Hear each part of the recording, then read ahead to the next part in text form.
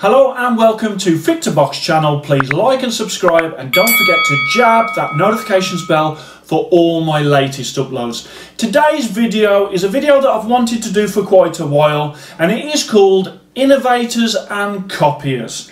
Okay, so I'm seeing this more and more. The more gloves and more equipment that I see, they are falling into two categories. As you know on the channel, I review whole of market from low cost items to items that are over a thousand pounds. And those companies are now falling broadly into two categories.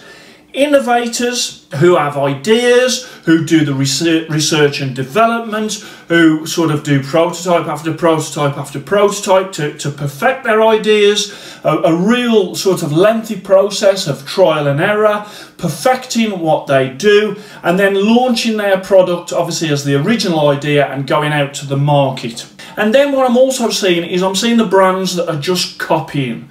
Okay, so these are the companies where they just copy what has been done by others, what is successful, um, they sort of clone them, they get hold of a pair, say if it's a pair of boxing gloves, they get hold of a pair, they deconstruct them, then they reconstruct them again, uh, reverse engineer them, and then obviously come out with their own with their own logo on. So they clone either the whole sort of say gloves or parts of the glove, whether it be the thumb or the wrist or whatever, but they are essentially sort of not coming up with ideas themselves, they are simply copying a successful formula and then perhaps and more likely doing them at a cheaper price.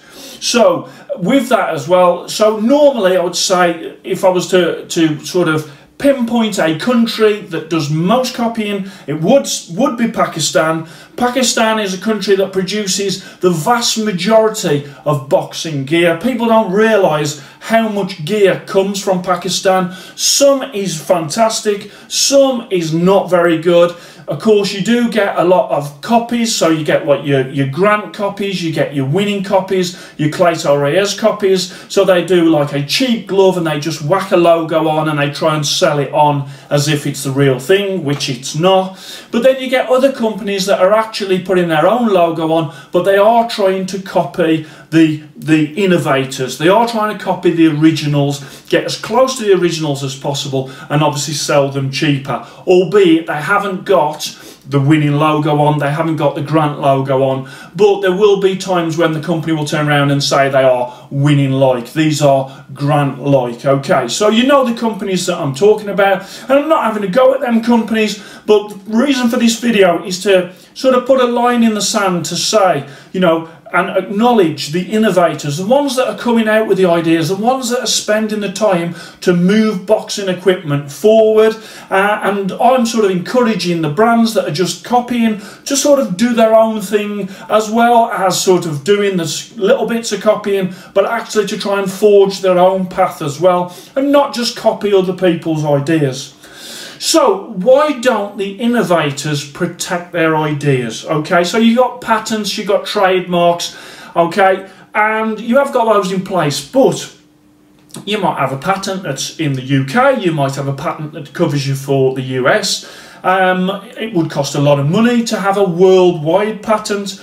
Also with patents, they've only got to change something by slightly and actually your patent is not really that relevant. And the expense and the time of doing it obviously companies just come out and especially if it's a company that's coming out with a lot of ideas to patent every single idea uh, worldwide would just you know they wouldn't be able to make the money that they are on the actual sales from the actual part that they're trying to protect. Okay, so that's the reason uh, why companies are able to copy. Now, on the channel and in my videos, many times I will credit the originals. Okay, um, uh, I don't give credit to the companies that are simply copying. Uh, I do highlight them because they're on sale. As I say, if I sort of said, right, I'm only going to review this brand, this brand, and this brand because that brand has copied, there wouldn't be hardly anything on the channel. And if I didn't do it, then lots of other people would anyway. So I do whole of channel so you can see, but I do point out and give credit to those companies for whatever it be. It may be a split thumb from Grant. Many companies copy a split thumb from Grant. And of course, now they've bought out the triple thumb uh, with the triple colours. Again, many, many companies are now doing that and putting it on to their gloves. But I give credit to the originals, and that was Grant. Now, Grant does say that they've got a worldwide patent for that. Again, how enforceable it is, I don't know because there are just so many companies that copied that. And not only that, they copied it very, very quickly. Grant sort of comes out with the pictures of what they've done, and very, very quickly across the world, not just Pakistan, but across the world, there is sort of countries and companies that sort of see it and straight away try and copy it. As I say, with the copier brands, you know, they are providing gear Perhaps somebody can't afford some Grant gloves, they can't afford winning gloves, they can't afford rival gloves, I get that. So they are providing a service to those people who want these gloves but can't afford it. They're trying to get them as close as possible to the originals and fair play to them, they are not putting on the false badges okay, which a lot of uh, sort of fakers do, and you know my views on fakers. So in the background, when a company sort of gets in contact with me, if they if I can see that it's a direct copy, I sometimes refuse to actually do the review. Sometimes I sort of uh, say to them, look, I'm going to acknowledge on the video that this is a direct copy. You know, I don't give them an easy ride because at the end of the day, I can literally glance at a glove or a head guard and I can see the origins of that straight away. And those people that watch this channel a lot, you'll be in the same position where, yeah, it might have a different logo on, but by the shape, or, or by the uh, sort of the design, you'll be able to see, right, okay, yeah, that is originally come from this company here. I've got a list, um, it's not an exhaustive list, but I have got a list and I just want to sort of put some lines in the sand. You will know many of these, but I think it's worth just putting out there. Starting off with winning. Okay, so winning with their gloves. There is many, many companies out there that want to achieve a glove like winning. That, that you know, some companies will put that they have put winning clones, winning like, whatever it is, you can tell that they do want a glove like winning. And why not? Winning is a superb glove. You know, but they are expensive, £350, you know, not everyone can afford that, so I get that, okay? Uh, but Winning's gloves are copied across the world. Something else that Winning do that is massively copied is the head guards, okay? So the FG5000, the full face head guard, and the FG2900, basically, most companies base their head guards on those two head guards, okay? Now, Winning don't seem to challenge, they don't seem to be bothered, they know that what they do, they do is great, and obviously their reputation speaks for itself, you know, but they, if you look at a lot of companies, their head guards are based on those two head guards. Then we come to Grant.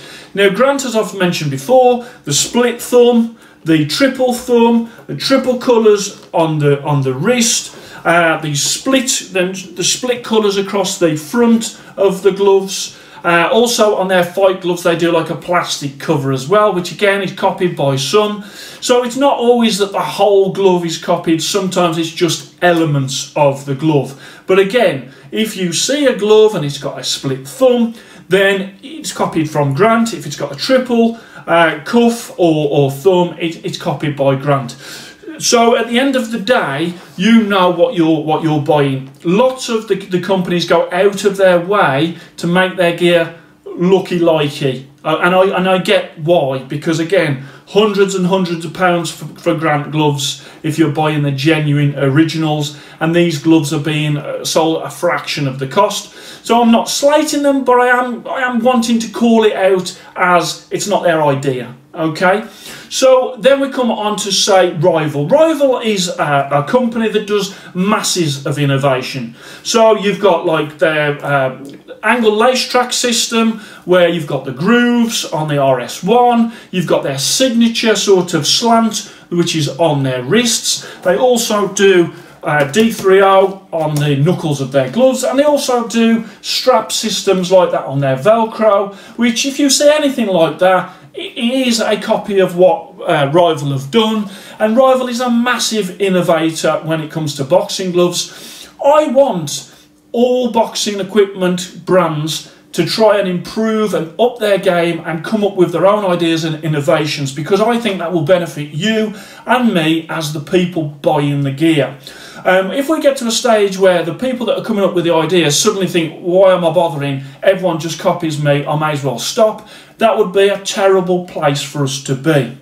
Then let's come on to, so you've got like Reyes, Cleto Reyes, whereby obviously you've got the, the, shape of the glove, that's copied. Also, they have a pointed face bar, so they haven't copied winning when it comes to their face bar. They've got a pointed face bar and they've got a rounded face bar as well. I wouldn't copy the rounded one, to be fair, I don't like it. But, you know, the pointed one, certainly they have tried to do something different. Um, Everlast, they come out with a tremendous amount of innovation and, and they name all different sort of types of names. But again, you can look at another glove and see that they have copied what Everlast have done. Dinardo. Dinardo is, when you look at a Dinardo glove, it doesn't look like other gloves. You can see immediately that it is a Dinardo glove. Uh, the, the look of it, the feel of it, the paisley lining, you know, he's done a lot when it comes to developing his own glove. He hasn't gone out and copied Winning, he hasn't copied uh, Grant, he hasn't copied Rival or Reyes or Everlast. He literally has designed a glove that if I saw a silhouette of these gloves, I would say, yeah, that's a Dinardo. Okay, Fortis Boxing, they've come out with the Super Strap. I've done a couple of reviews on it. I have noticed that this company is now starting to copy the Super Strap. Not, not perhaps the, the whole glove, but certainly the, the Super Strap. I know that he took a tremendous amount of time to develop that to the position where he could go to launch. And now you have companies that are literally just copying that uh, and, and again, probably selling for cheaper. So, Fortis Boxing, the same with their Fortis, their fast straps. You know, what an innovation those fast straps are. Haven't seen many places really copying them yet, and hopefully they won't. But you know, what a brilliant design and something that has come out of the uh, Fortis Boxing, the Matt who's in charge of it, out of his head. These are ideas that he has not only sort of thought of, but he has developed to the point where they actually work and work great. Another company, Onyx. Onyx, they again trying to do their own thing, doing gloves where you haven't got to wear hand wraps, um, the lace system that goes through the back of the glove, both in the Velcro and also in the lace. They have tried new materials and new ideas and concepts. And I applaud that company for it because, again, the amount of work involved in trying to do your own thing and carve your own path, it is a much harder route than just going, right, okay, there's winning, they're a great glove, let's get a pair of winning, let's take them apart, let's do exactly the same, let's, tell, let's sell them cheaper. Okay, fly. If I see uh, a glove that's got the cross stitch at the back of the wrist, then I immediately think of Fly because that is sort of their sort of signature cuff where you can track the laces at the back of the stitching. They've not got the deep grooves of the Ergo lace track of Rival, but they have got the, the stitching that goes across in the cross. So if you see another glove and it's got that, you know, it's Fly inspired. So I guess what I'm trying to do is to give full credit to the innovators, to encourage them to carry on uh, innovating and making better boxing equipment and just keep those ideas flowing and for us to get the benefit. You know, great ideas are always going to be copied. On this channel, the reason you are seeing my face now is because there was two people that out there that started to, to copy my style of videos where I was just doing the, just concentrating on the gloves. So I had to come out and show my face. Some people would say um, that was a bad thing. Uh, some people will say that was a great thing, but, but that's my wife. So apart from that, everyone else hopefully uh, is better to see my face so you can see sort of the expression and what I actually think uh, on the camera. Some people will only buy the originals, and, and that is great and fantastic. And some people don't care, they just want uh, something that is as good or nearly as good or just looks like and they may not have the money to buy the originals again I get that so there is a definite place in the market for both the innovators and the copiers but what I would say is if you are a company that are just copying I will always encourage you to come out with your own slant, to come out with your own ideas. The aim for you, in my eyes, is to get other companies to copy your stuff. Then I feel that you will have really made it in the boxing community because it is about give and take. Not just taking from the big brands, but actually giving back into the boxing community and saying, look, okay, yeah, we might have copied that thumb, but this is our wrist. I would love to see that from more and more brands. So let's let's sort of open your, your minds to new ideas, but also as, as sort of customers, before you make those purchases, have a think. Acknowledge the fact of who actually came out with it first and whether or not that is something that is important to you. To, to uh, do you stick to your gun and say no, they come out with it first, I will only buy that, or whether you think you know what Fair play to them, they did come out with it first, but I simply can't afford the amount of that. I do like what they've done, and I'm going to go for a brand that has done a copy of that particular thing.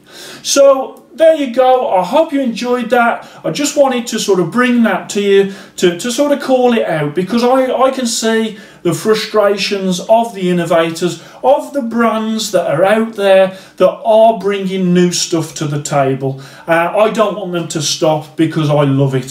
So please, all you innovators out there, keep doing what you're doing. And the copiers, please bring some ideas to the table as well. The better ideas from you, the better ideas from the uh, uh, innovators, the better boxing equipment for me and my viewers out there across the world. So I hope you enjoyed that. Please like and subscribe to Fit to Box channel and I shall speak to you soon.